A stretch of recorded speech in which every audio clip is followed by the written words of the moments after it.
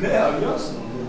Potreba je za to i tekako postojala i dobili smo još jedan dodatni sadržaj u gradu Zagrebu. Osnivače Muzeja sportskih zgoda, Martinu Fileša, Roberta Grobenskog i Tina Srbića. Lijep pozdrav. Lijep pozdrav.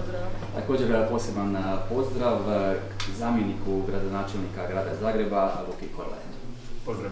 Tiče zdrava prehrana, gdje se zapravo može samostalno slagati tanjur planirani za prehranu. E,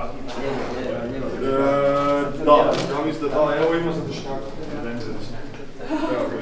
Moram se okej, ne bi kaj zaživati. Da, da, da, bilo se.